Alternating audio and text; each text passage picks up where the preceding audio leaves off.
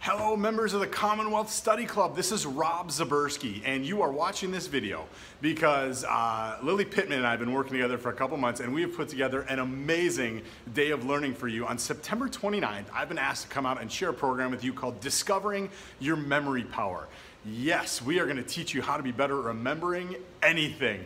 So if you've ever been the person who met, has met someone for the very first time, you get their name, you shake their hand, and then literally no sooner does a handshake break as that name vanishes. If you've ever wondered how or why that happens, you're going to learn how and why that happens. Most importantly, we're going to teach you the skills that you need to make sure that never happens again. You guys, I have the privilege of flying all over the country sharing this program with study clubs just like yours, and I can tell you the best piece of feedback I ever got, I've never laughed so much at a study club meeting. Is this, are you even allowed to call this a lecture?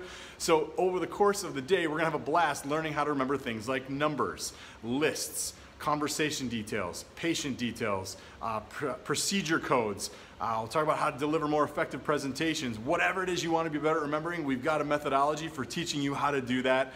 Uh, so listen, I've got a pretty clear idea of what we're going to cover, and then I'm totally open if you got something specific, like, Robb, I really need to be better at remembering this. Send me an email. Let me know what this looks like. All my contact information is going to be at the end of this video. Feel free to connect with me anyway. Otherwise, I'm really looking forward to meeting you all at the end of September. Make it a great rest of your day.